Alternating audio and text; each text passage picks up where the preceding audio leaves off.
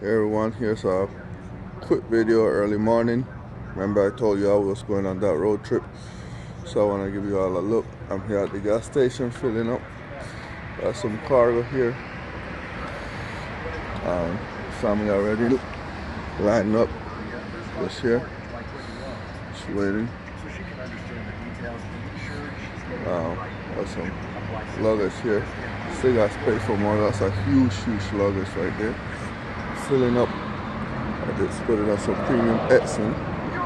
Let's see how it goes. It takes regular lead, but except for better performance, use premium and you know, I'm I'm stopping at top tier gas stations to try to give you the most that this car can push with the you know top tier gas and see how it is.